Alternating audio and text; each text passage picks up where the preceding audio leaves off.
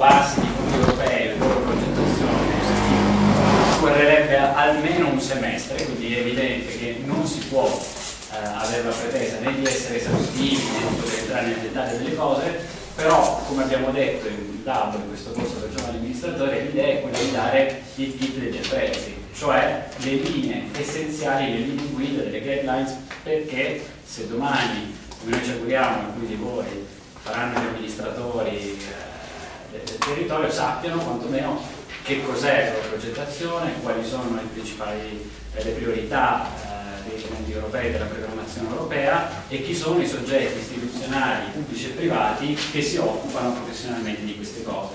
Oggi abbiamo eh, la fortuna di avere con noi la professoressa Lucia Serena Rossi che oltre ad essere eh, la mia professoressa di diritto dell'Unione Europea, quella che in qualche modo mi ha instillato, lo dicevamo prima, il virus del, dell'europeismo, ecco, e anche ehm, direttrice del master in, in una persona assolutamente competente per affrontare la materia di oggi. Io la ringrazio per essere qui, eh, le lascio subito la parola dicendo che essendo le nostre lezioni e il nostro corso fatto in crowdfunding, cioè attraverso la raccolta di fondi dal basso, tra l'altro siamo al 92%, quindi mancano 5 giorni, ce l'abbiamo quasi fatta, abbiamo l'obbligo di rendicontare tutto quello che facciamo. Quindi anche queste lezioni vengono video riprese in modo che chi ha donato eh, per il corso abbia le riprese.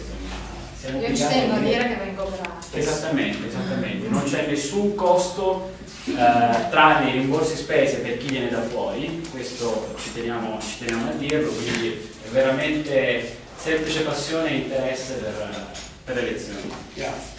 Grazie Nato. Eh, io volevo chiedere come per organizzarci, computer sì, computer no, con veramente. Mm eh, voi siete tutti amministratori, quindi forse...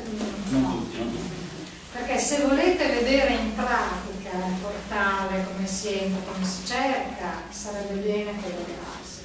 Se invece facciamo un discorso veramente introduttivo, cioè questo modulo sui fondi sono solo io o c'è qualcos'altro? No, no, c'è stato Raffaele Salinari prima che ha fatto cosa del cycle management, poi il prossimo c'è Lia Montalti che è l'assessore del comune di Cesena che racconta l'esperienza di progetti europei, Francesco Tarantino che fa la parte dei progetti sui giovani. Come volete voi, se allora, volete guarda, forse se mentre io parlo, bene, che vai sul sito, Google, vai su eventi, così magari dopo abbiamo anche qualcosa, okay.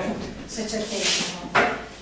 Allora, come diceva Marco, eh, io mi sono resa conto che questo della progettazione è un mestiere.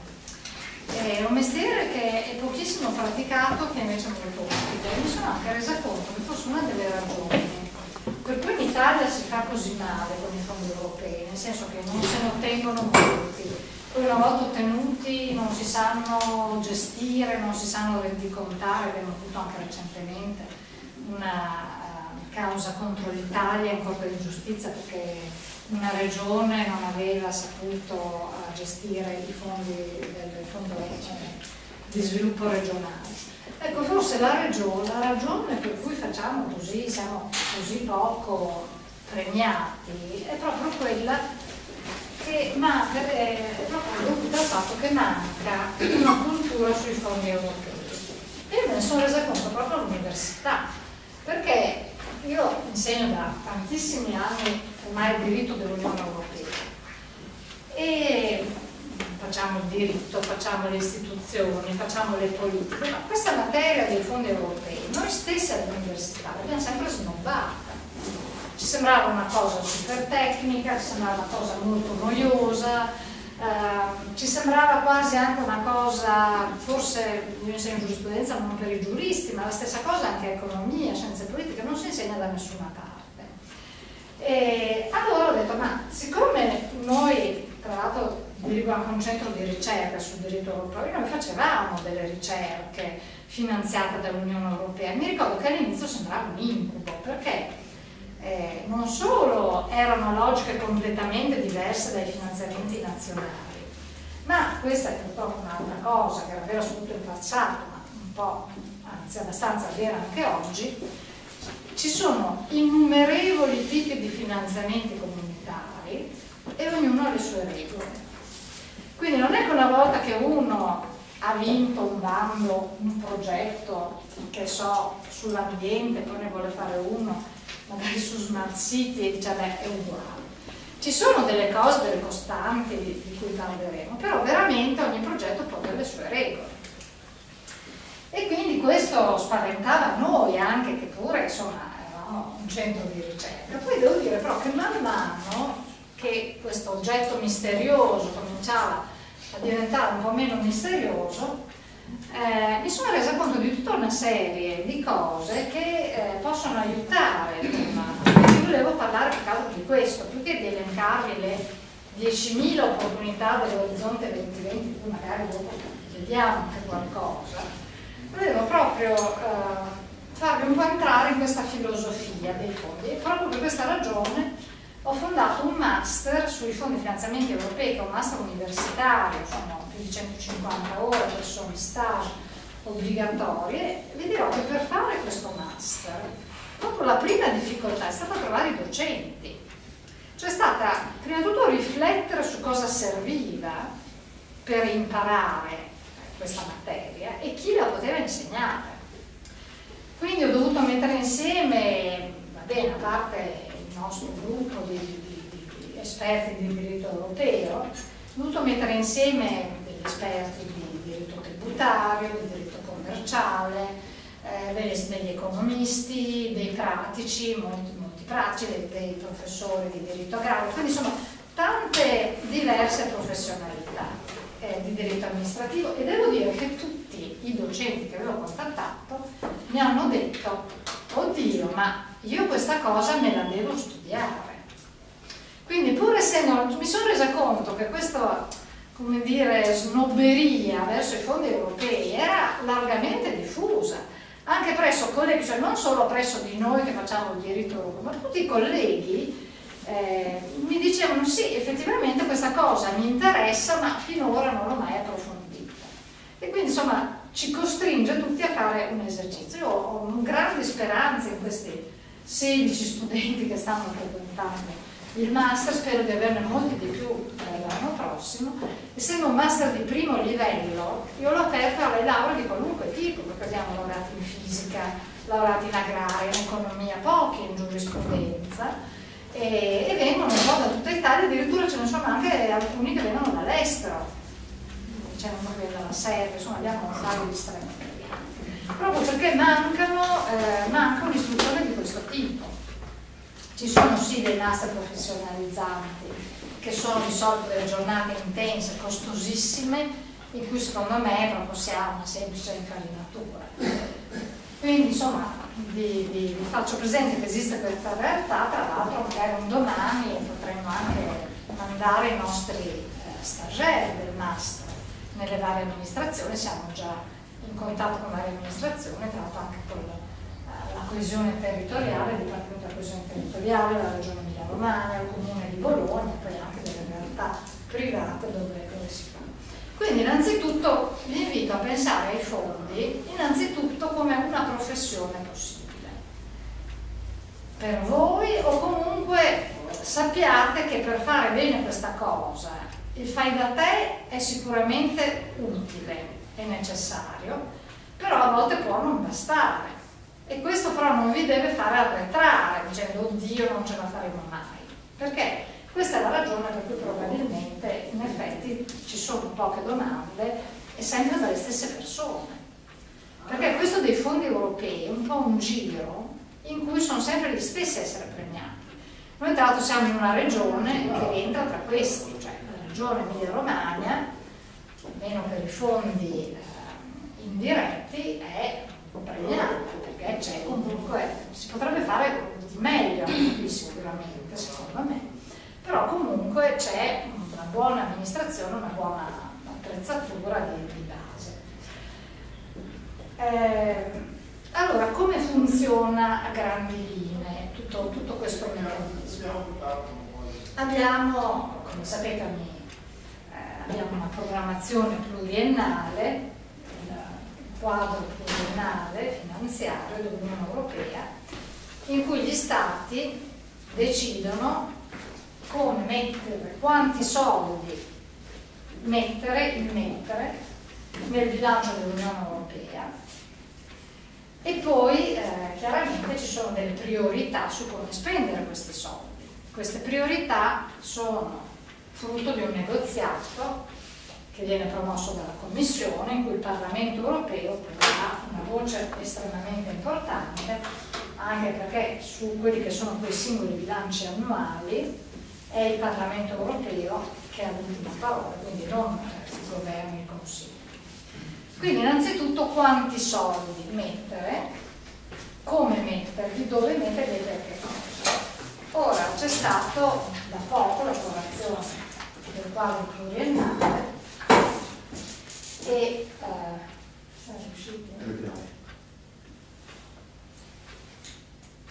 e eh, comunque a grandi linee i fondi si dividono in fondi diretti e indiretti. I fondi indiretti, come per esempio il, il fondo eh, sull'agricoltura, il fondo di sviluppo regionale, il fondo sociale, il fondo per la coesione, sono fondi che non sono direttamente accessibili dai privati, si passa attraverso degli intermediari che sono o le agenzie nazionali o la regione. Io intanto vado avanti così di arrivare o, o le regioni. E in questo caso è oltre diciamo, alla funzione di erogazione, questi intermediari, che sono intermediari pubblici, hanno anche una funzione importante di orientamento. E qui si vede un po' l'abilità delle diverse regioni, come le regioni riescono a volte anche le agenzie nazionali, riescono a portare a conoscenza di un più ampio numero possibile di soggetti questa opportunità.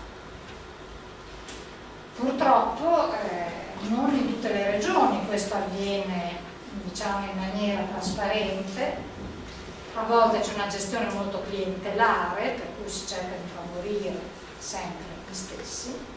Questo è un grave errore perché poi quando queste questi finanziamenti sono erogati, c'è comunque un controllo molto pressante da parte di Bruxelles, da parte della Commissione, in certi casi, per esempio, dell'agenzia, l'Agenzia per la cultura e l'audiovisivo svolge una, per esempio una, una funzione estremamente importante.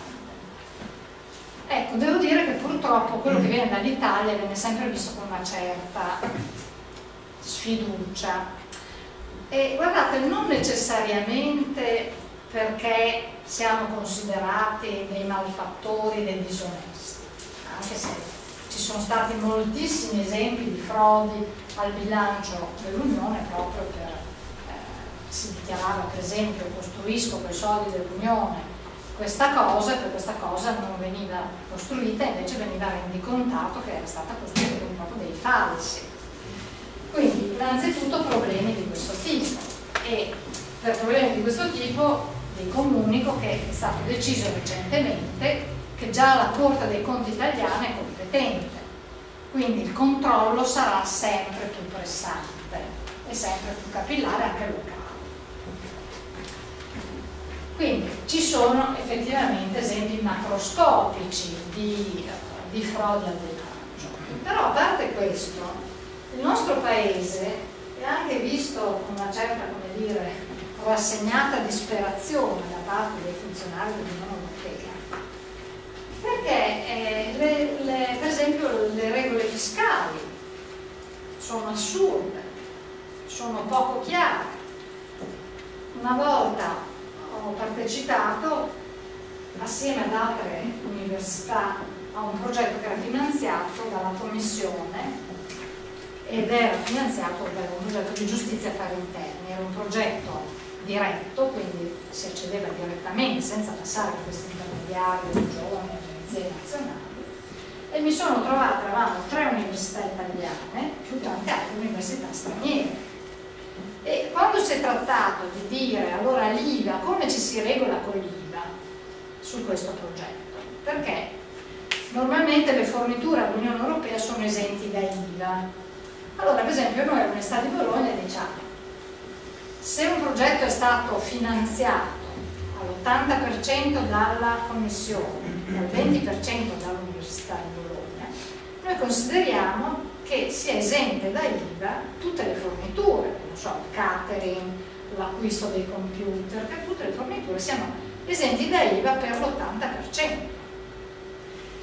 Le altre due università italiane, una considerava tutto esente da IVA e l'altra niente esente quando ci siamo parlati tra di noi siamo andati dal funzionario della commissione e abbiamo detto ma noi stiamo applicando cioè quella che noi crediamo tutti e tre essere la legge italiana. E lui si è messo le mani nei capelli e ha detto sentite noi basta che vada bene alle autorità fiscali italiane non va bene perché veramente non sanno come. Quindi ci sono effettivamente tanti problemi. Tanti problemi e una volta è anche una così scarsa scarso approfondimento, perché sicuramente bisognerebbe chiedere anche appunto, al Ministero di fare delle circolari chiare su questo punto, ma le circolari non ci sono. Dai, c'è una normativa fiscale che sembra fatta apposta per farti violare la regola in modo poi da poterti sanzionare. E questo è, almeno vi posso dire, che per quello che riguarda tutta la parte applicabile questo tipo di, così, di, operazioni che sono miste pubblico-privato veramente non, si sa, come già spieghiamo qui. Quindi ci sono tanti eh, problemi. Ciò nonostante sono tutti problemi superabili, non è che nel senso che basta premunirsi, basta avere una cosa scritta della Commissione che dice che gli va bene questo tipo di uh, gestione fiscale, a quel punto, siccome poi la Commissione deve i soldi, difficilmente la nostra amministrazione potrebbe. Quindi, chiaramente, su quelli che sono i fondi e i finanziamenti diretti, cioè quelli in cui uno va da solo a concorrere, uno si trova poi anche da solo in tutte queste, nell'orientarsi di fronte a tutte queste norme. Mentre invece per quelli che sono fondi indiretti ci sono questi intermediari che dovrebbero anche orientarci eh, nella gestione della rendicontazione. Per quelli che sono eh, i fondi eh, e tutti i vari finanziamenti diretti, che secondo me sono forse anche più interessanti perché sono i meno battuti, i meno esplorati, è eh, assolutamente necessario poter leggere l'inglese. Qui abbiamo il portale di Horizon 2020 che non è l'unica ma è sicuramente la più importante fonte di finanziamento diretto, eh, da qui al 2020. Quindi fatto il quadro pluriennale, fatta diciamo, la ripartizione tra quello che va su fondi diretti e indiretti e su Horizon, poi posso... Cioè, questo è il computer che abbiamo? Sì. Non metti eh, quindi questa è la fonte, non è l'unica, eh, ma è sicuramente una delle fonti maggiori per quello che riguarda la ricerca, anche la ricerca applicata. E oltre a questo ci sono eh, anche molte altre, moltissime altre eh, cose, ci sono le piattaforme e ci sono delle priorità. Tra l'altro c'è un nuovo approccio della Commissione per cui si cerca eh, di ehm, far sì qual è lo scopo della qual è lo scopo di tutti questi fondi e finanziamenti europei. Allora, innanzitutto dovete sapere che gli Stati membri non possono aiutare le imprese, sarebbe contrario alle regole sugli aiuti di Stato. Le imprese se vogliono degli aiuti devono andare a chiederli all'Unione Europea o tramite i fondi dell'Unione Europea. Ci sono delle esenzioni, certamente in certe categorie, però eh, la regola è questa. Quindi innanzitutto qual è lo scopo di questi fondi? È uno scopo di politica industriale, cioè di orientare con un sistema di incentivi l'Europa, quindi le aziende, eh, le amministrazioni, le università, le comunità, a andare a mh, impegnarsi in certi settori che vengono considerati strategici. Quindi i soldi sono messi in una maniera anche sinergica, per cui su cambio climatico, energia, ambiente, ci sono tante diverse forme, tante diverse, tanti diversi livelli a cui si può accedere, tanti diversi così come su, per esempio ci sono ora tanti, dopo vediamo qualcosa, tanti settori non so, legati alla biomedia, al biomedicale, oppure legati alla ricerca, alla, alla ricerca di un certo tipo di agricoltura, il food, sono tante tante priorità che sono state definite che sono dietro molti diversi tipi di finanziamento. Quindi innanzitutto c'è questo desiderio di questo approccio non di dare finanziamenti a pioggia, perché inizialmente la comunità economica europea metteva i soldi, aveva diviso l'Europa in tante zone, zone povere, zone ricche, più erano povere più gli si faceva convergere i fondi. Ora questa divisione esiste ancora per i fondi diretti, per i fondi strutturali, però eh, i fondi strutturali oggi sono solamente una parte eh, sono anche forse la parte meno innovativa di tutto quello che è il finanziamento dell'Unione Europea.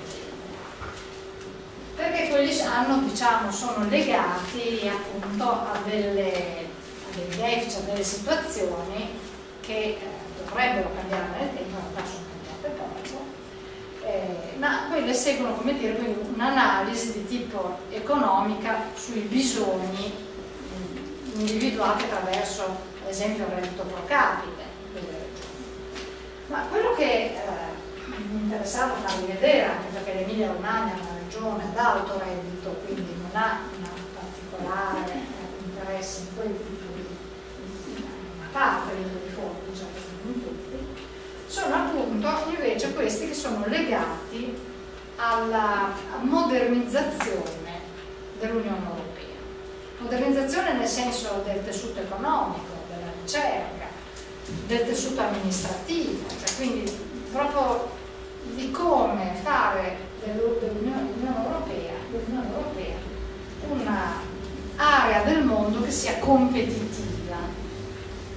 Quindi c'è dietro, e forse per la prima volta, perché prima c'era stata una cosa che si chiamava Agenda di Lisbona, che era una serie di wishful thinking, cioè di pensieri, di, di idee pensierini, di lista dei desideri, che però era completamente sradicata sia dire, dalla realtà, sia poi anche stata sradicata nella esecuzione attraverso il finanziamento. Ecco, mi sembra invece che questa volta, l'orizzonte 2020 è una cosa, ci sia una strategia. Questa strategia tra l'altro è stata fatta consultando gli stakeholders, quindi è stata fatta prima di essere approvata questa strategia. Tutta una serie di uh, consultazioni, per esempio so che l'Università di Bologna ha partecipato a diverse consultazioni in cui e poi a cascata ci era stato chiesto a tutti, chiaramente ai giuristi, forse meno, ma sicuramente ai medici, agli ingegneri, ai chimici, ai fisici, quali erano secondo loro i settori più promettenti, più interessanti su cui sarebbe stato bene avere una ricerca che poi però portasse a dei risultati concreti, quindi eh, non una ricerca meramente teorica, ma una ricerca che avesse poi un'applicazione.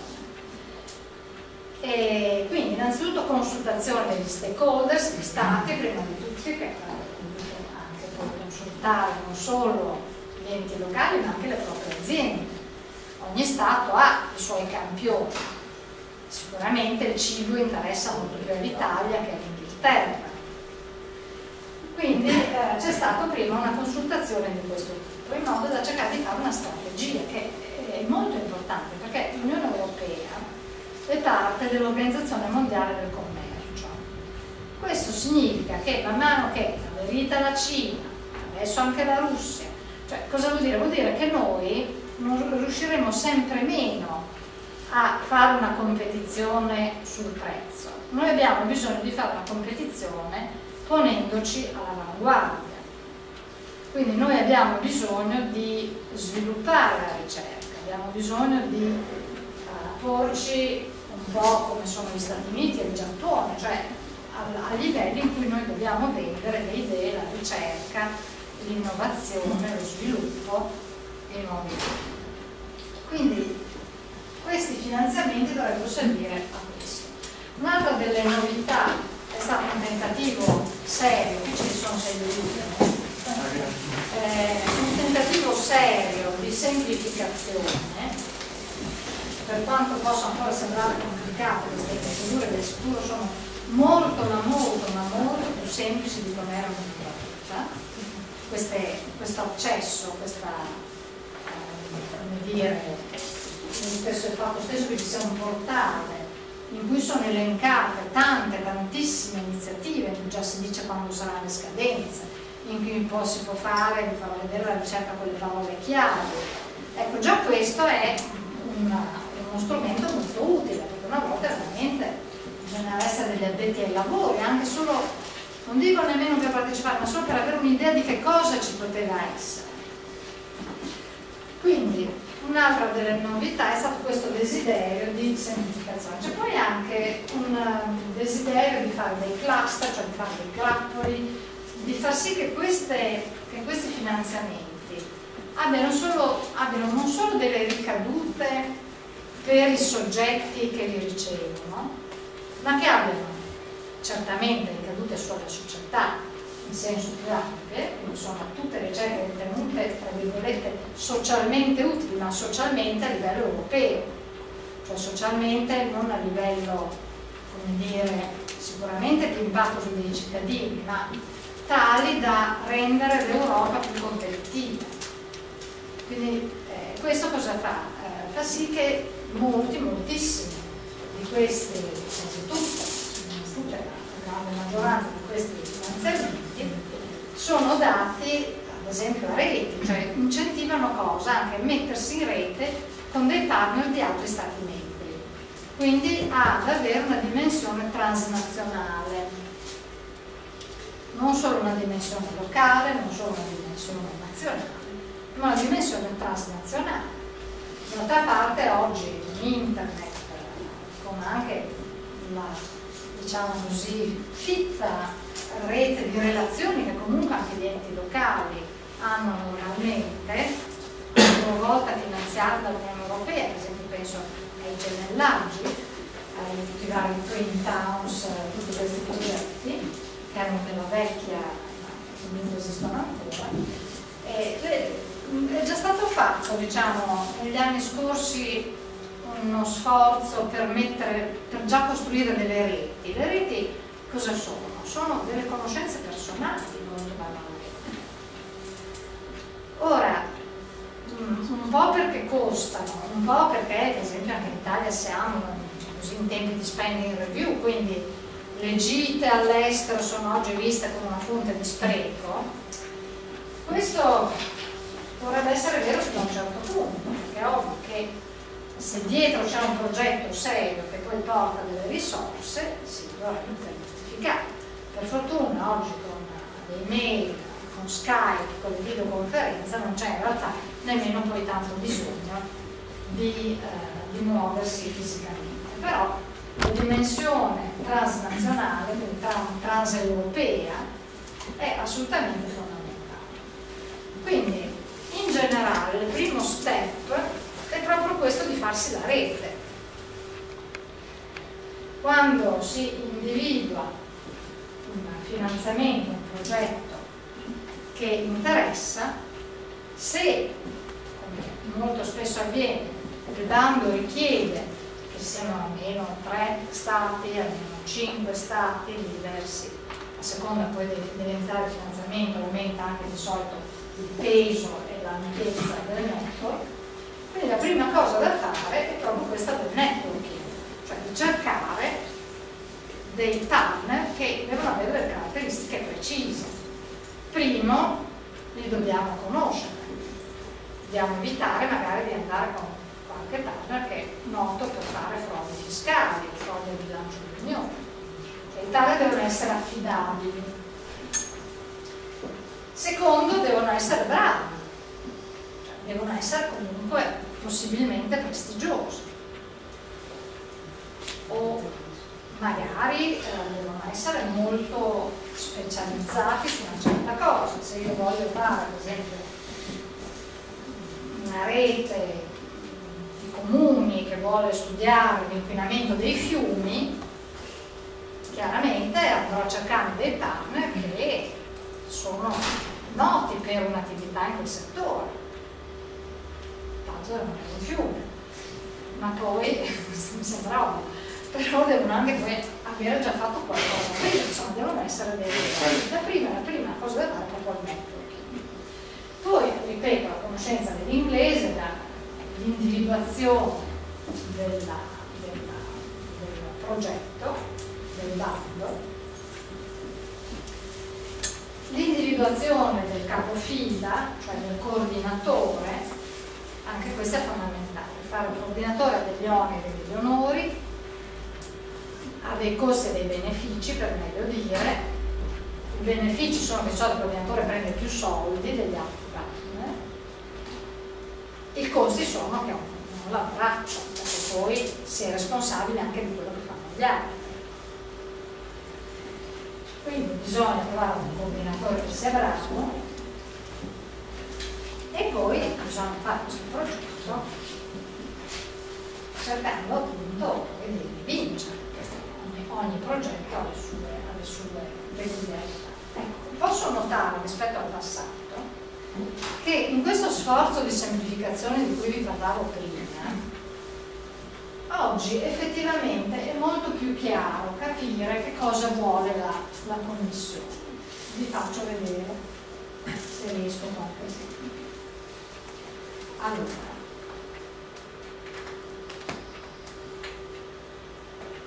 Vedete, qui abbiamo innanzitutto, vedete, tutte le moltissime aree tematiche dell'orizzonte 2020.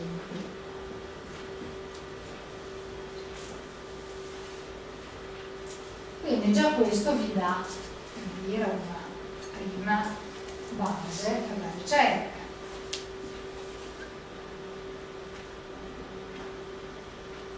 esempio, cos'è che può interessare? Innovation. Innovation. Stiamo andando sul food che adesso è così di moda. ci pensa già Marone. Chi ci pensa? Marone. Beh, vabbè, noi avremmo il fico che è Bologna.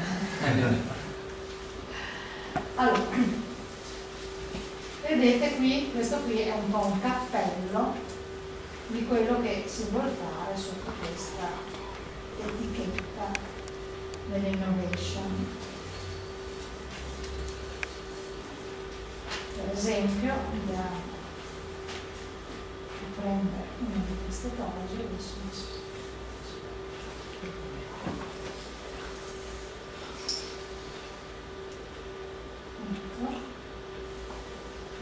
ecco. Project stories sono semplicemente quelli che ce l'hanno fatta prima, non era l'orizzonte 2020 quindi, ecco, vedete che qui vi dà i link, cioè vi, dà, vi dice già se vi interessa questo tipo di eh, finanziamenti dove potete andare a trovare. Li potete andare a trovare anche fuori, per esempio il Cosme non è Orizzonte 2020, è un'altra linea di finanziamento.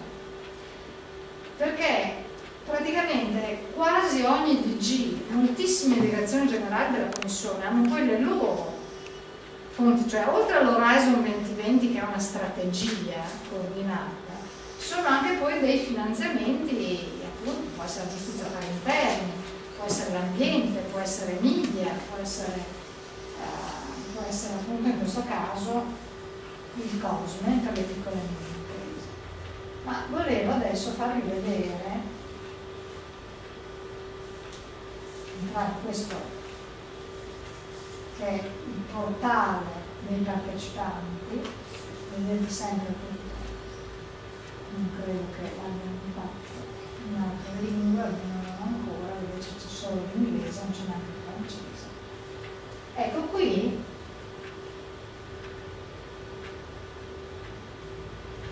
voi potete cercare le calls, cioè i danni,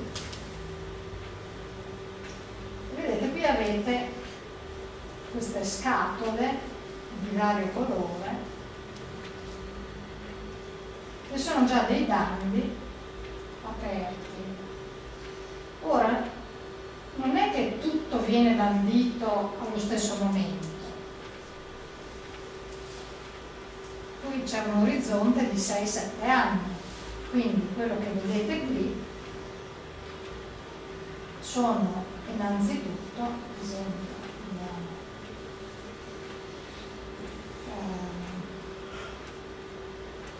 nuovo processo di interesse a distanza generale. So, diciamo per esempio questa. Allora, vedete, voi entrate dentro, ci interessano le nanotecnologie.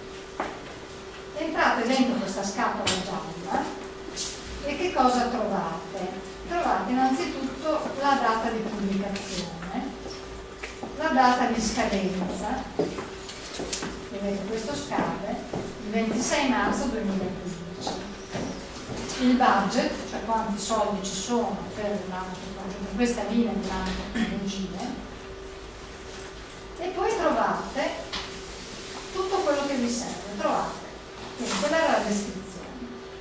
Sono tutti, se si va a, cliccare, qui ci sono tutte le, eh, per esempio le regole di partecipazione, sono, qui si possono scaricare, non lo faccio perché non so di questo computer, inquinarlo tutte queste cose. Però uno si può già scaricare tutti i documenti per una call che scade nel 2015, tra un anno, così ha tutto il tempo di prepararsi. Ecco, qui vedete anche chi vi può aiutare su questo tema. Ogni call ha il suo OI, per esempio, allora qui per le nanotecnologie voi potete chiedere aiuto ai National Contact Points, a queste reti di imprese, a varie all'ESA italiano e a questa, a questa eh, fitta lista di eh, varie organizzazioni che operano in questo settore. Addirittura, se vi interessa, voi potete, vedete, chiedere di essere inseriti in una mailing list per cui vi arrivano le notizie. Quindi vedete diventa molto più semplice. Chiaramente uno deve sapere che cosa gli serve, se uno dice voglio sapere tutto quello che succede in tutti i settori, dovrebbe francamente, cioè allora a quel punto quello diventa il mestiere di cui vi parlavo prima, però allora fareste meglio a frequentare il master, chiuso lo spot pubblicitario, perché chiaramente seguire tutto richiede, soprattutto saper fare tutto tutte le varie fasi non è semplice, però se uno dice interessa seguire una di queste cose è abbastanza facile. E volevo anche farvi vedere, quindi vedete come è stato molto semplificato. Volevo anche farvi vedere che è possibile, se ritorno,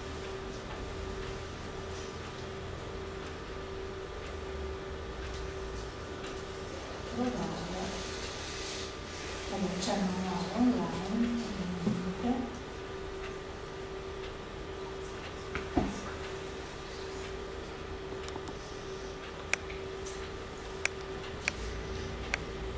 qui ci sono gli aggiornamenti vedete qui c'è scritto search topics qui addirittura avete altre informazioni e potete addirittura cercare con una parola chiave. Ad esempio, mettiamoci smart. Smart, e cosa mi dà? Mi dà tutto, ad esempio Smart City Solutions. Allora andiamo e qui mi dà, vedete, tutti i topics, i topics che possono, in questo caso no, appartengono tutti alla stessa call, ma potrebbero essere anche di call diverse Facciamo un altro esempio, se io metto biofuel, per esempio, vediamo se mi ci qualcosa. Biofuels.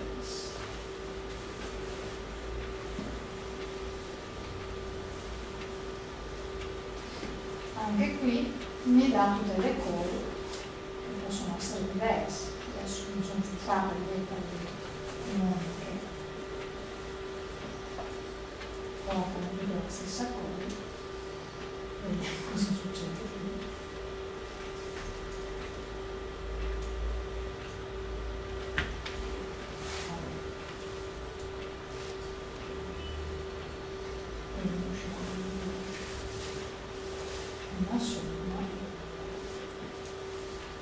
Quindi con questo sistema voi potete intanto uscire dalle scatole, perché è possibile che una cosa che vi interessi sia in due scatole diverse.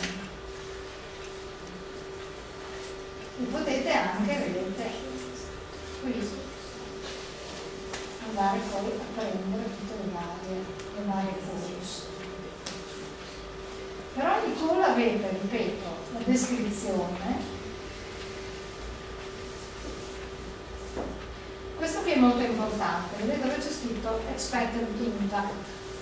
Che cosa vuol dire? Vuol dire che quella è la ragione per cui è stata fatta quella call.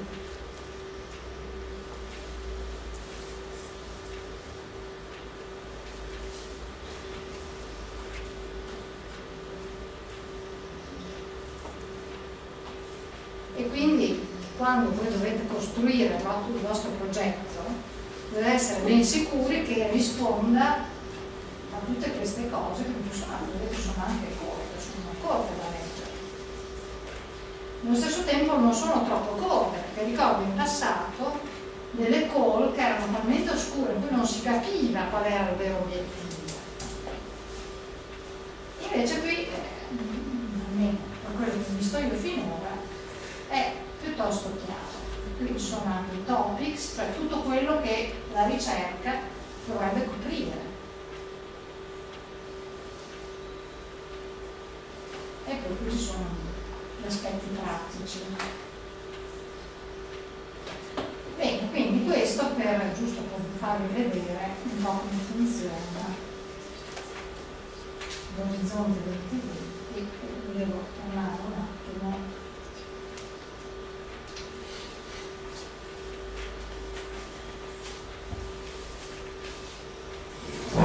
la lista dei campi Netflix.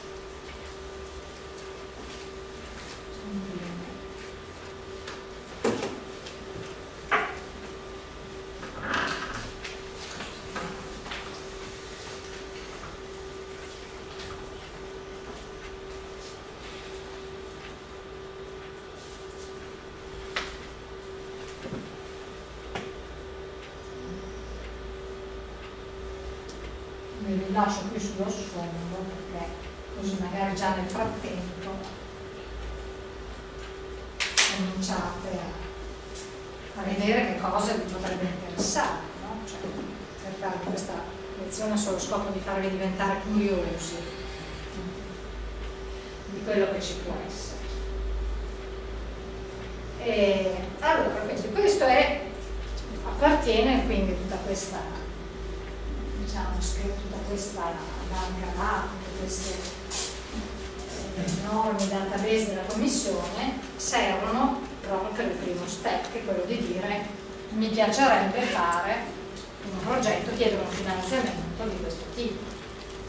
Ripeto, non c'è solo H2020 che fa sulla ricerca, ovviamente non solo sulla ricerca universitaria, ma ce ne sono tanti altri, sono più progetti eh, quelli indiretti invece più, sono più facili da trovare perché eh, le agenzie nazionali, le regioni, le associazioni di categoria, le radio informali, quindi quelli sono meno, come dire, esoterici perché hanno, sono, passano comunque attraverso dei canali istituzionali che nelle varie posizioni in cui uno si trova si può comunque immaginare eh, che trova che gli verranno fornite notizie su richiesta direttamente, a volte basta iscriversi all'elemento in lista, su un certo tipo di opportunità.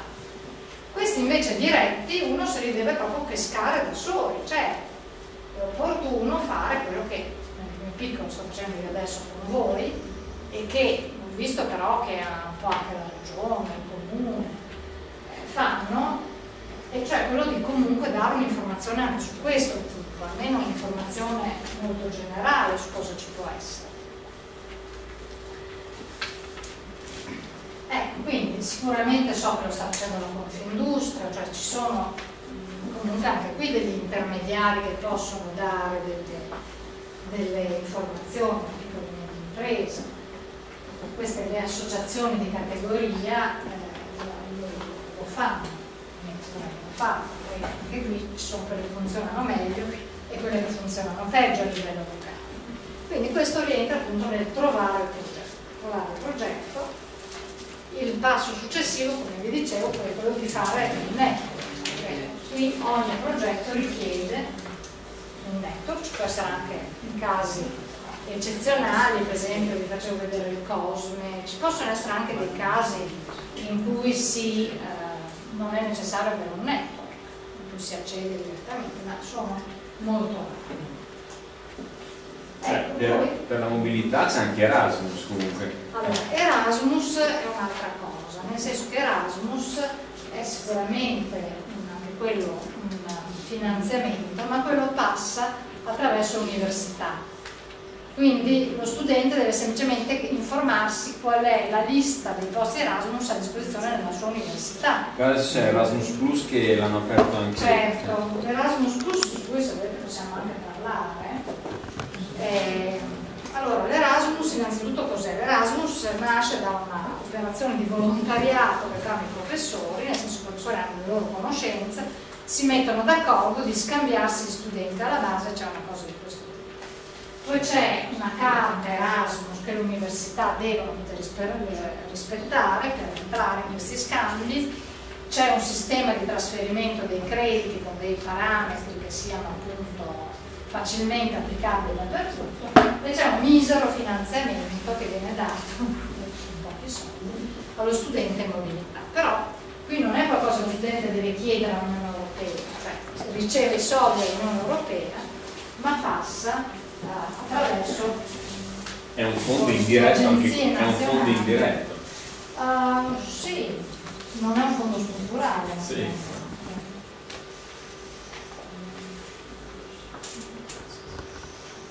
adesso c'è una cosa del sito italiano io vi produco Sancio invece il nostro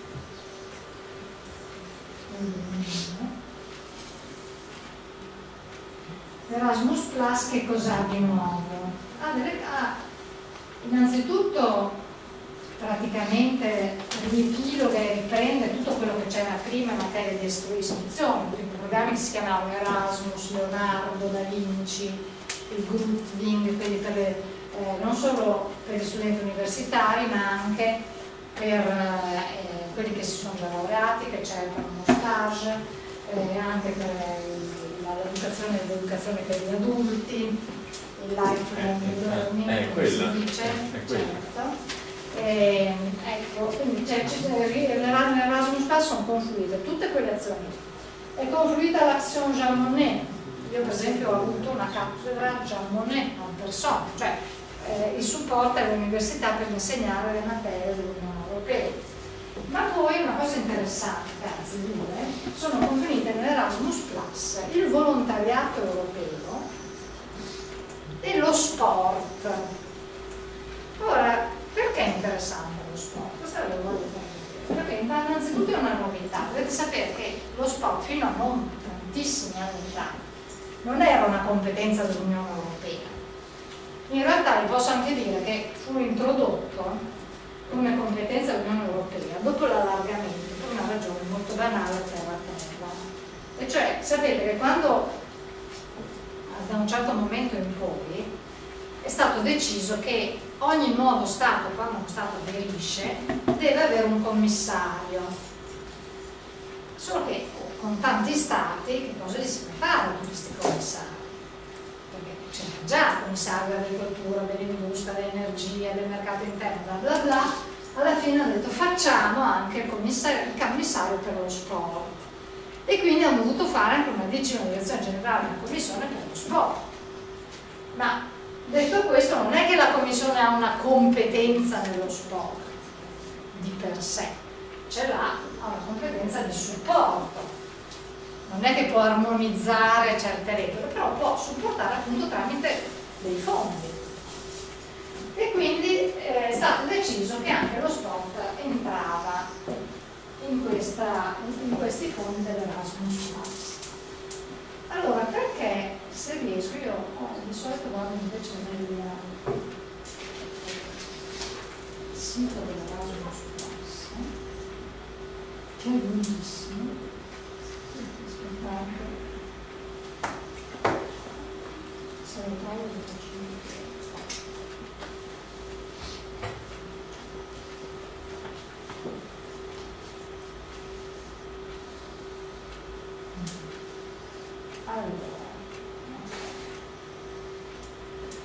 Poi ci sono agenzie nazionali, eh? questo bisogna chiedere, eh, alle agenzie nazionali così come si faceva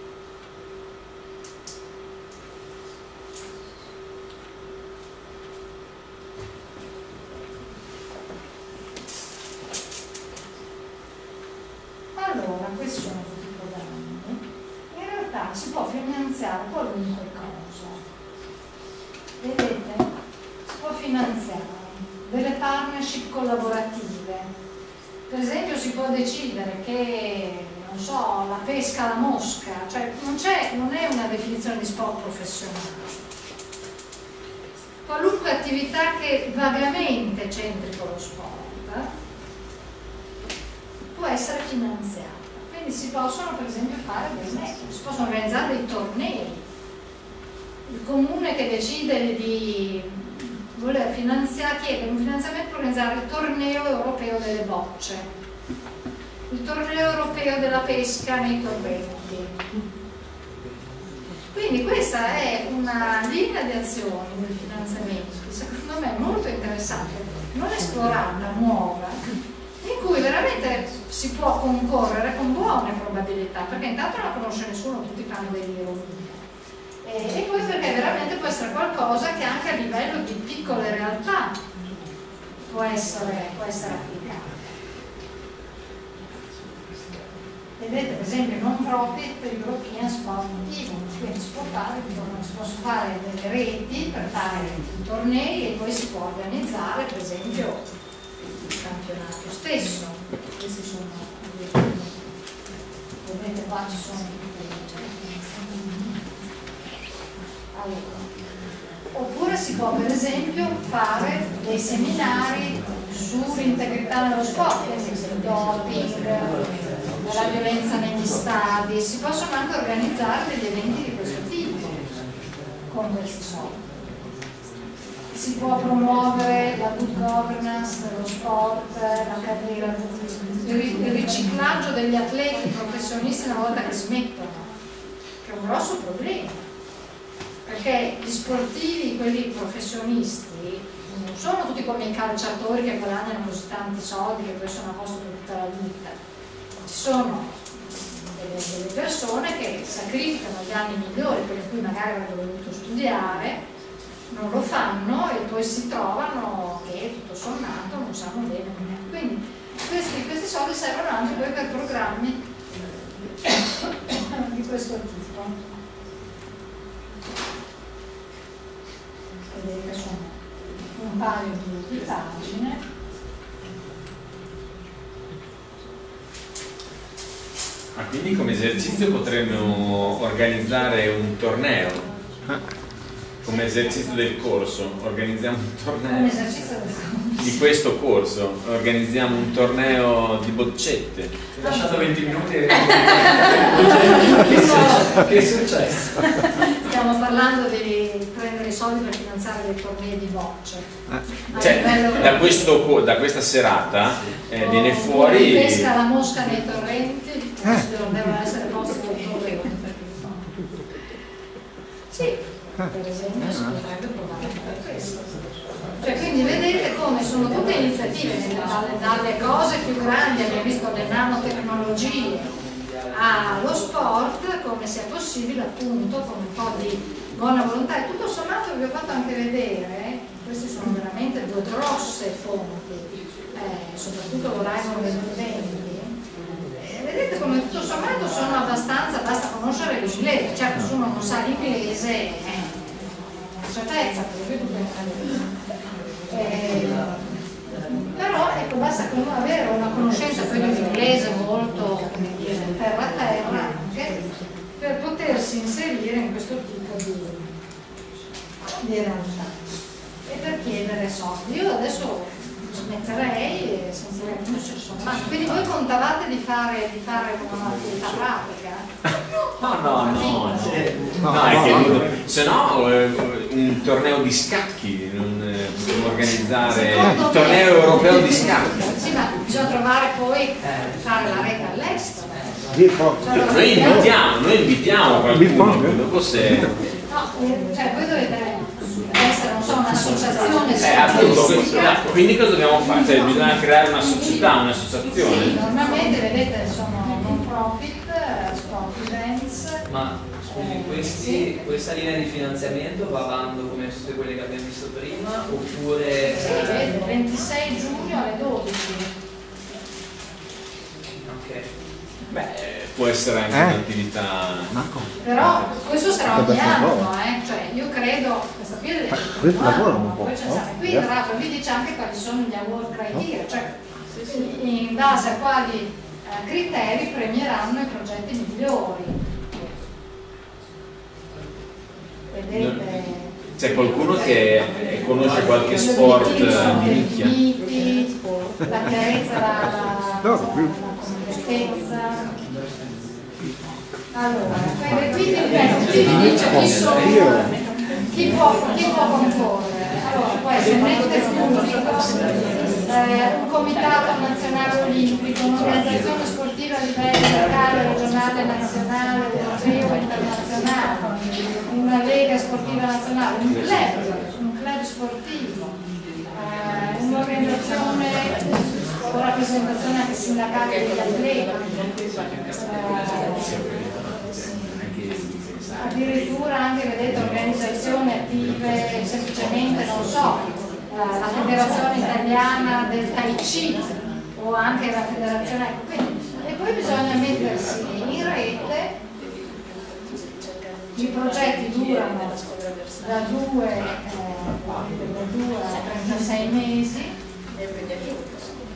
Ah, facciamo magari poi lingue tedesche. E poi vi dice appunto il resto.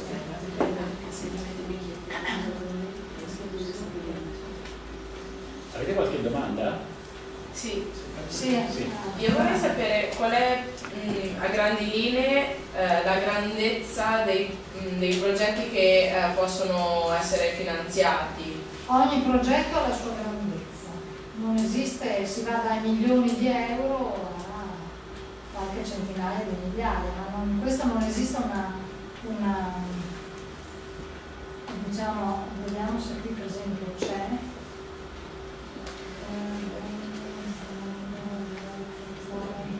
Ci deve essere la guida in fondo.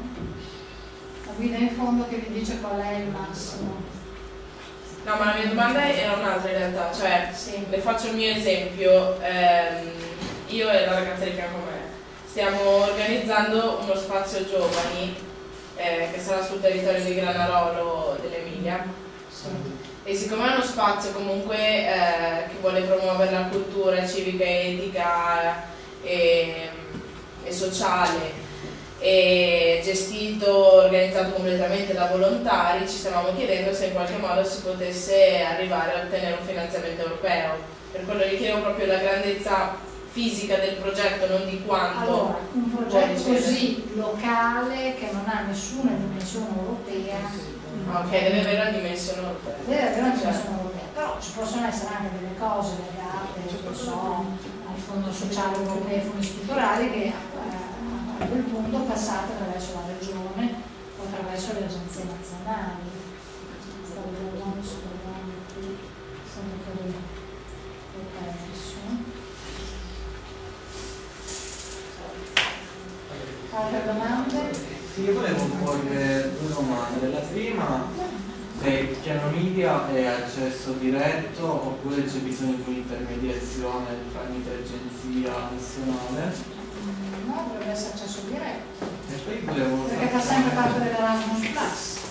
Ah, quindi sempre... Sì, allora, dico il programma Erasmus Plus.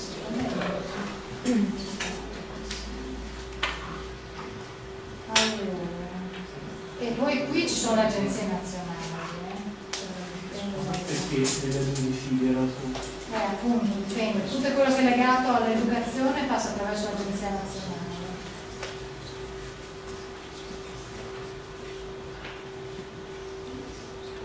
Che cosa le interessava? No, sapere se ad esempio anche, non so, dei giovani eh, aspiranti registi, non so, compagnie di spettacolo teatrale possono attingere a questi, a questi fondi europei sì, tramite cioè da soli direttamente o tramite agenzia? Sì, ci sono, io li stiamo adesso sto indicando se sono inclusi dall'altro.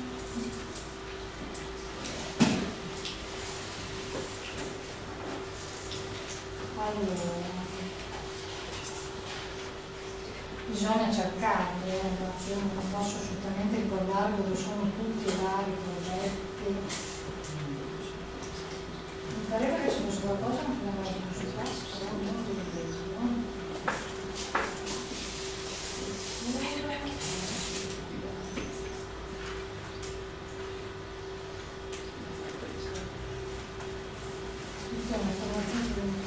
No, allora, allora va con il media, perché il media era un progetto assente bandito dalla DG appunto Education.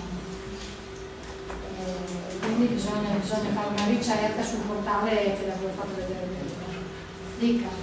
Eh, noi abbiamo parlato di fondi ah, diretti e fondi indiretti sì. e abbiamo visto come raggiungere i fondi diretti, ma quelli che pratica avvengono tramite, che passano tramite la regione, come riusciamo a intercettarli? Eh, dicevo prima, per esempio, il FEOGA, gli agricoltori di solito sono informati dalle associazioni di categoria, perché quindi sono, non so, Fondo Europeo Sociale Europeo, quello con cui si sono fatti per anni tutti questi corsi che Renzi giustamente dice erano corsi terribili fatti per ingrassare i formatori e non hanno creato nessun posto di lavoro.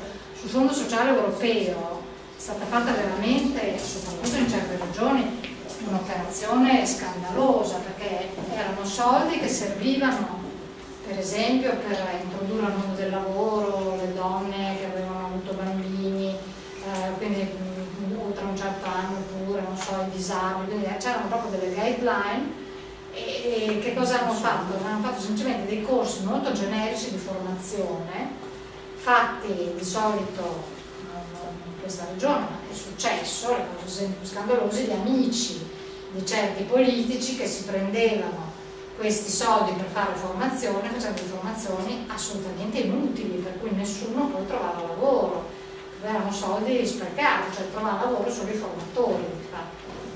Eh, quindi questo tipo di fondi diretti passa necessariamente attraverso l'Agenzia Nazionale, per esempio per adesso ci faranno questa agenzia nazionale per la coesione territoriale che dovrebbe gestire questi fondi, poi attraverso gli enti locali e le, le buone associazioni di categoria devono fare, possono essere l'industria, l'agricoltura, eh, devono fare un monitoraggio serio di quello che, che, che viene bandito.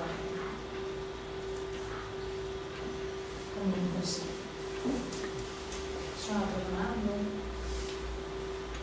Ecco, l'ultima cosa che non vi ho detto per non spaventarmi, non solo è se vincete.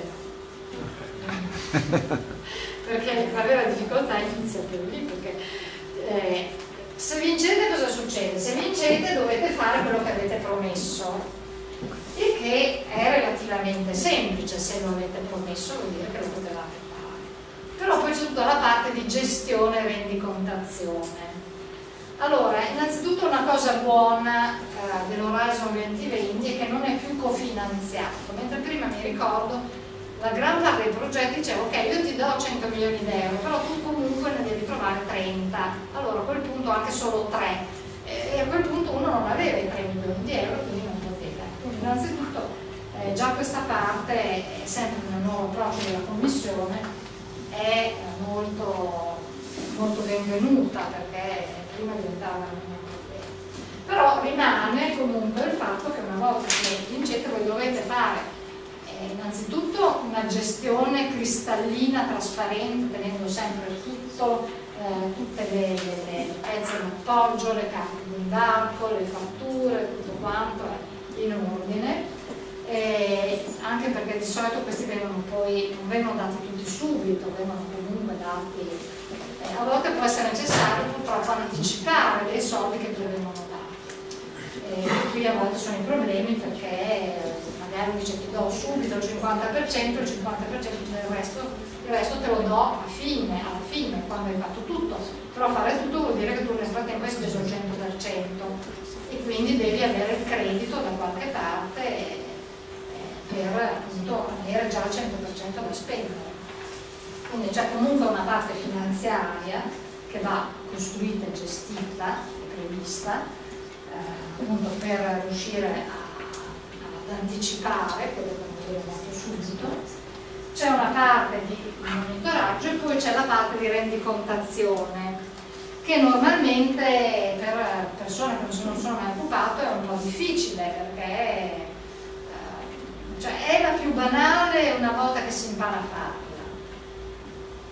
però per uno che non l'ha mai fatta è senz'altro qualcosa che è troppo quindi normalmente nei progetti soprattutto se sono progetti di molti soldi si prevede di, che un costo del progetto sia quello di pagare una persona che segue quel progetto. Naturalmente non è che questa persona si può assorbire la maggior parte dei soldi del progetto è abbastanza inutile però eh, questo è anche un modo di fare appunto i famosi contratti a progetto, questo è il tipico settore, questo è un contratto a progetto nel senso che è bene avere una persona che sia dedicata, più grande il progetto, più dovrà dedicarci del tempo a seguirlo.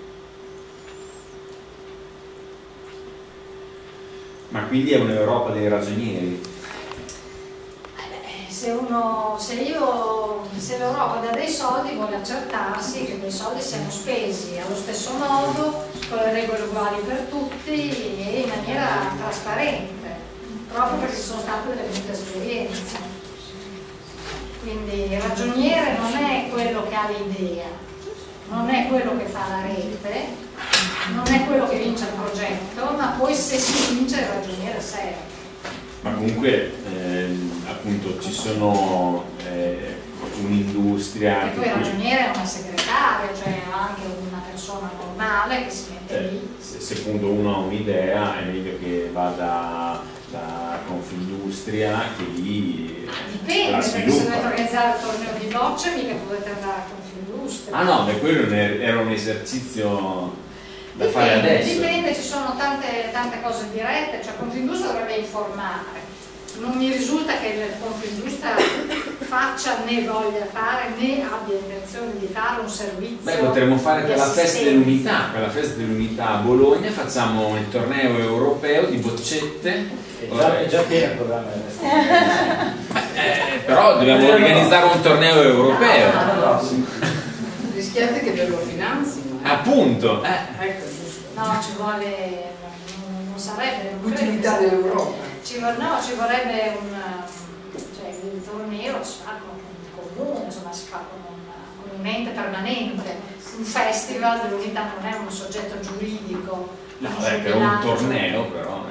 Eh no, uno allora è un comune di Bologna che dice nell'ambito del festival, però quello non piacerebbe perché per esempio ecco, la, commiss la, la, Commissione europea cerca di fare le cose che raggiungano tutti i cittadini, quindi già dire che lo fai per un partito non è aperto a tutti, non è.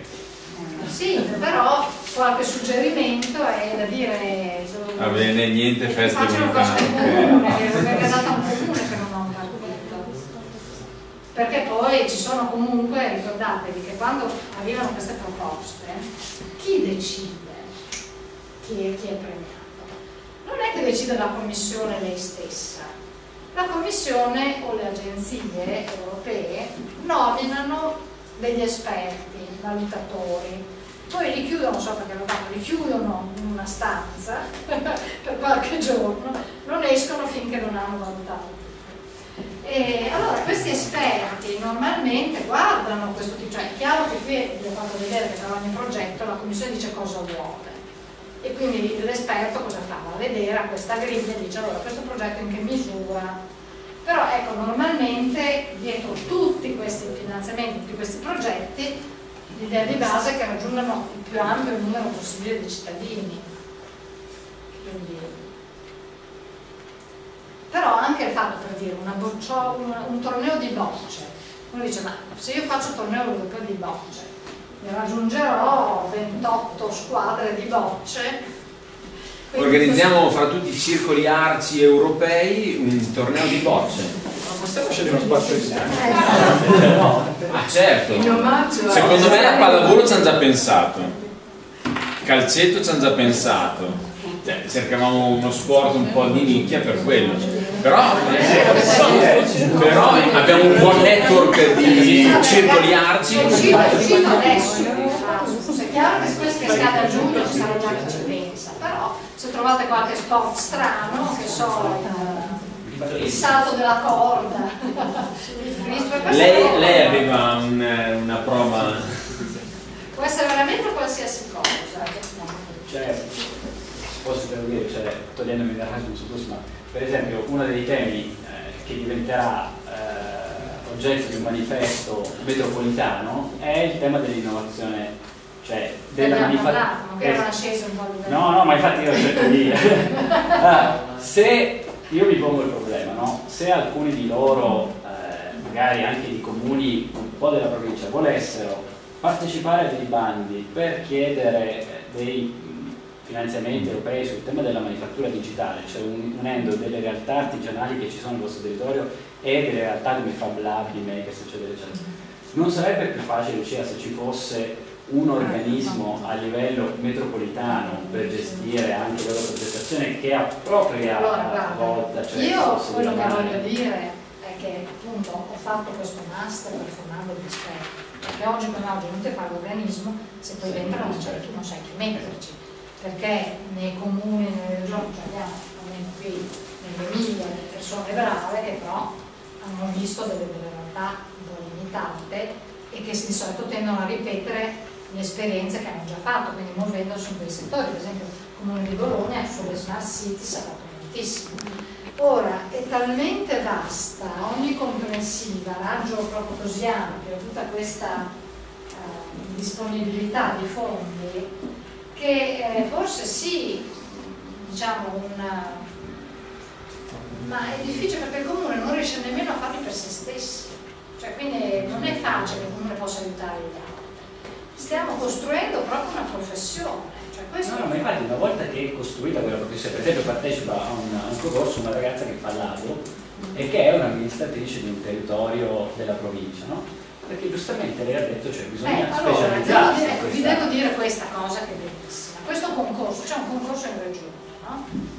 Per, per fare una... Allora, gli studenti del master hanno telefonato e hanno detto ma allora noi potremmo farcelo considerate. E poi hanno detto ah no, noi non ve lo consideriamo il master perché non è finito nei, nei termini, cioè perché loro sono ancora studenti del master.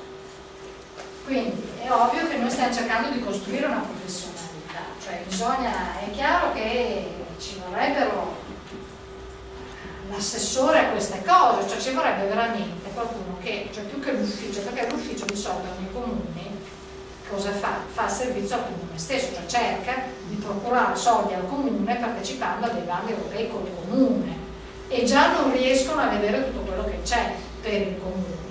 Figuriamoci se riescono a vederlo per gli altri, a farlo per gli altri. Nell'area metropolitana, sai, cioè è ovvio, è ovvio sì che diciamo, mettere in piedi un ufficio, eh, ci vogliono però delle persone, delle persone giuste, ecco, perché non è, è talmente veramente di tutto si può finanziare, cioè, abbiamo visto la nanotecnologia torno di bocce, questi sono un po' certo. i due estremi.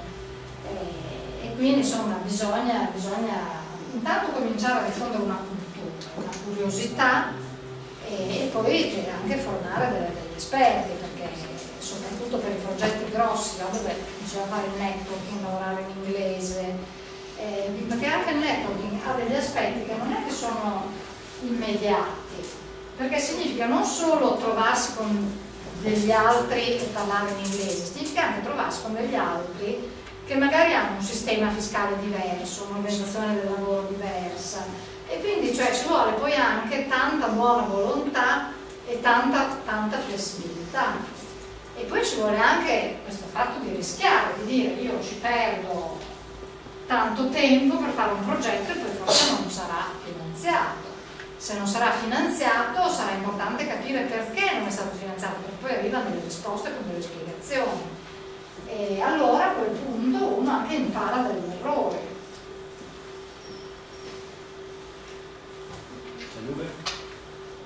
Se posso dire una cosa, eh, cioè prima quando lei parlava della diversa fiscalità che hanno alcuni paesi, cioè io so di alcune linee di finanziamento europei, in questo caso indirette, quindi che passano dagli enti nostri territoriali, che si bloccano ma non per sbagliate valutazioni o del tecnico o, del, o, del, o dell'ufficio comunale o di quello regionale, ma perché la, la comunità europea ci dice guardate che la vostra legislazione, lei dice quella finanziaria, io sono un esempio di, della legislazione sugli appalti, dice lei non può avere questa linea di finanziamento se poi gli appalti li svolge in questa, in questa, con questa legislazione. No, intanto le appalti sono le produzioni Sì, che però l'Italia non aveva recepito, che l'Italia non aveva recepito, poi si blocca. Deve recepirla molto presto. Speriamo. Cioè, ci sono vecchie direttive che l'Italia ha recepito, adesso sono comunque tutta la legislazione italiana sugli appalti è di matrice sia per i servizi che per i lavori, che per le forniture, sono tutte matrici. Ah, sì, direttive cose un mese fa poi c'è questa nuova sui tempi di recepimento però anche però lì su diretti sulle forniture sul forniture cioè anche lì ci sono delle regole attenti già quelli diretti sì. cioè se su quelli diretti uh, un privato cittadino un deve avere questo tipo di attenzione perché certo. se poi sì, tutta la filiera si interrompe per una regola nazionale allora noi abbiamo, noi abbiamo in Italia una marea di regole pazzesche per esempio noi abbiamo il DURC che è questo documento che bisogna chiedere e oggi scoprivo che noi che cioè io devo organizzare un convegno pensate e allora con dei soldi che tra venivano da una vecchia ricerca dell'Unione Europea volevo organizzare un convegno, anzi dovete venire, vi invito tutti, il 7 maggio la mattina presentiamo l'iniziativa dei cittadini europei sul nuovo patto per la crescita e dopo c'è invece in inglese una cosa sulla cittadinanza europea e le elezioni con una professoressa di Maastricht e un professore di Hamburgo. Se volete è lunedì, cos'è il 7? Il 7 un mercoledì. Allora 5, lunedì 5 alle 9 e mezza una facoltà di giurisprudenza del Zamboni 22 sala Armi al primo piano. A meno che non siamo così tanti che in quel caso dovremmo cercare un'altra sala, ma siamo meno insomma. E allora cosa vi volevo dire? Volevo dirvi che eh, per, ho chiesto come potevo fare, cioè una cosa, portare a pranzo i relatori portare a pranzo i relatori regole date dall'Università di Bologna, non si può spendere più di 31 euro a testa. Poi io devo portare a pranzo i relatori ma non ci posso andare io, a meno che non sia anche un relatore. Poi dice, va bene, vi porto nel ristorante X dove ho sempre portato tutti i professori stranieri. E allora dice no, perché gli è scaduto il DUR, non l'ha fatto come? Perché è scaduto, sono andati, dice no, devono farlo ogni sei mesi. Quindi adesso un ristoratore, una cartoleria che ti vende le matite da mettere nelle cose, cioè ogni sei mesi devono fare questa cosa. Quindi ci sono le certificazioni antimafia, ci sono le certificazioni per l'INPS, quindi è veramente, cioè proprio a volte eh, hai questo grande slancio che vinci, dopo quando devi nella realtà quotidiana fare i conti, devi fare i conti con quelle che sono le regole di tutti i giorni che tutta la pubblica amministrazione, una pubblica amministrazione deve rispettare, certo, a volte ti passa la voglia, dice era meglio se non te li avevo questi soldi, perché mi divento pazza non spenderli. Speriamo in una semplificazione, adesso pure Renzi ha detto che dichiara guerra alla burocrazia, facciamogli sapere anche di queste. Abbiamo scritto la terza legge digitale, quindi sono anche funzioni che potrebbero arrivare. Con le sanzioni dell'Italia fuori Grazie. Grazie.